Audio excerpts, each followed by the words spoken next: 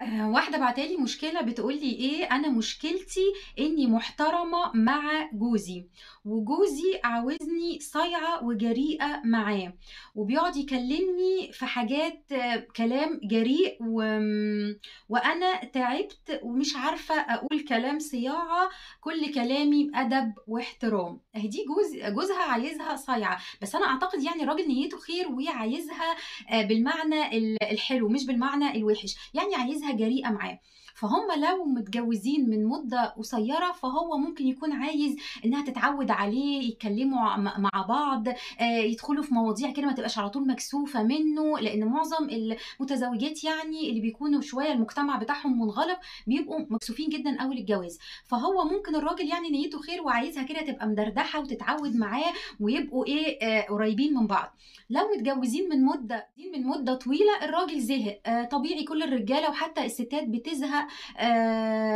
مع روتين من الرتابة في العلاقة الزوجية، مش عايز حياتهم تمشي بنفس ال ال الوتيرة، عايز عايز تجديد، وده مطلوب سواء للراجل أو للست. حاولي كوني جريئة معاه، حاولي إن أنتِ آآ مش هو كل مرة اللي يطلب العلاقة، اطلبي أنتِ العلاقة، اطلبيها بذكاء وبفَن، آآ بتلميحات، آه، تجهّزي نفسِك، تلبسي، مش لازم ال الكلام ال المباشر،